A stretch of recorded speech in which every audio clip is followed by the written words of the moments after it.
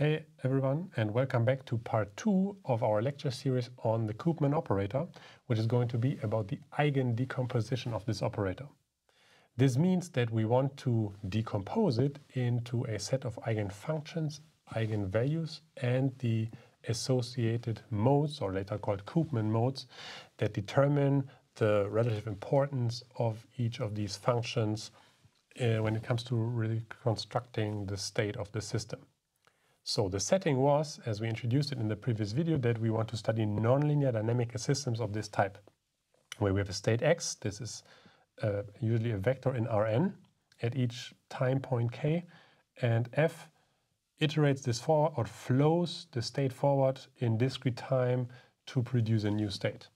And since it's a nonlinear system, this can be very hard to analyze, where the Koopman operator allows us to uh, take a linear perspective, but we have to trade this for infinite dimensions. What we mean by this is that the Koopman operator acts on this observable function psi that maps the state x to an observed quantity z. So this can be seen in this diagram here, whereas we have a nonlinear system uh, on the left side, where the flow map propagates the state, we have a linear system on the right-hand side where the Koopman operator propagates forward in time this observable function, which means the Koopman operator acts on the function. And before we dive into the calculation of these eigenfunctions and then later on how to do this numerically, I would like to take a small recap for linear systems and then motivate this how to use it for, for Koopman later on. So if we study linear systems, then we have a system of this type, xk plus 1 is equal to a times xk, where a is now an n by n matrix. And if we see this rule, this evaluation, then we can simply say that the state at point k is a raised to the kth power times the initial state x0. Okay. So we have gained nothing for now, but um, what we can do now is we can study the eigenvalue and eigenvector decomposition of our matrix A. So a short recap is shown here in this box where we have right eigenvalue vectors. If this is the equation for an individual pair of eigenvector p and eigenvalue lambda. And this is sort of the, the matrix notation for this. AP times lambda p, where lambda is now a diagonal matrix containing all the eigenvalues on the diagonal. And we have similarly left eigenvectors where we multiply the eigenvectors from the left side. Um, and the, the, eigenvalues are the same, which can be easily shown by transposing these equations. Okay, so what we can do now is we can simply introduce the eigenvalue decomposition. So let's assume we have linearly independent eigenvectors. Then this matrix is invertible which means the matrix A can be expressed as, well, we can switch this, right? P times lambda because it's a diagonal matrix. So A is P times lambda times P inverse. And so what we get is xk is P times lambda times P inverse raised to the kth power x 0. Okay? And so you see if I raise this to power k, what I get is p times lambda times p inverse times p times lambda times p inverse times p times lambda p inverse. And so you see we always have in the middle p inverse times p products. So what we get in the end is p lambda raised to the kth power P inverse x 0. Right? Simply by you know, multiplying this and then canceling out P times P inverse. So what we see here is a new system, right? Identical to what the one before. And what we can now do is we can use our P matrix to introduce new coordinates, right? So it's a linear system, so we can simply change the basis if you wish. Um, so we do a coordinate change and define x to be p times a new state y, or other way around, y times, or is equal to q times x.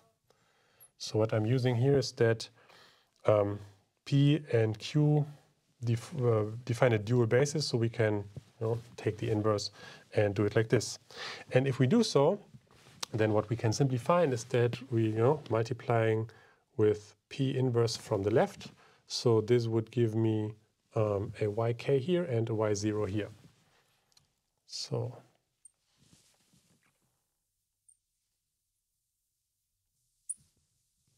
is, and now we have this large lambda matrix raised to the kth power, which means we raise lambda 1 till lambda n to the kth power.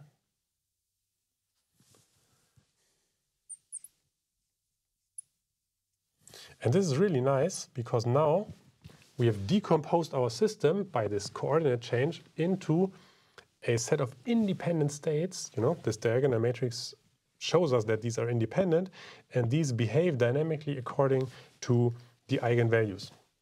Right, and let's study this at a small example here, where I will simply introduce three small matrices um, where we have two real eigenvalues that are both uh, absolute value smaller than one.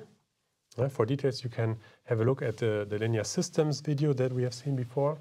Um, and then we are going to study two more systems where we have a complex conjugate pair, meaning the system oscillates with spectral radius uh, equal to 1 and smaller than 1, which means this is um, periodic and this is stable and should go to the origin eventually. And so the details how we did this doesn't matter. So what we see here is the, the eigenvectors and eigenvalues of these three systems, and now we can visualize what's going to happen. And then so you see two real eigenvalues. Uh, one of them is uh, smaller than 1, one is greater than 1, which means we have a stable direction and we have an unstable direction. And these are the eigenvectors 0, 1, so meaning pointing upwards, and square root of 2 and minus square root of 2, which means it points to the right and downwards. So you see exactly this behavior. Two same plots. Left is the vector field, and on the right plot you see trajectories of the system where they move from the top, you know, along the stable direction, and then to the bottom right along the unstable direction. So an eigendecomposition allows us to really study a system very systematically. Right? And if we now consider the system that is stable, so we have just a, a, pair of complex conjugate eigenvalues with absolute value 1, you see that the system simply goes in circles, which you see in the vector field and also in these trajectories. And third case is where we have a stable system, meaning that the eigenvalues are smaller than 1 in absolute value, and we have a similarly looking vector field, but these trajectories now spiral into the origin. Okay, so this is what's very, very interesting and useful for linear systems. And now comes the Koopman perspective.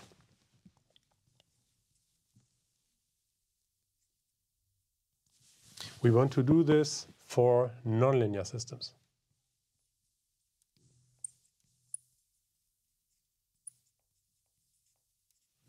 So what this means is that we take our operator psi sorry, K, and we decompose it into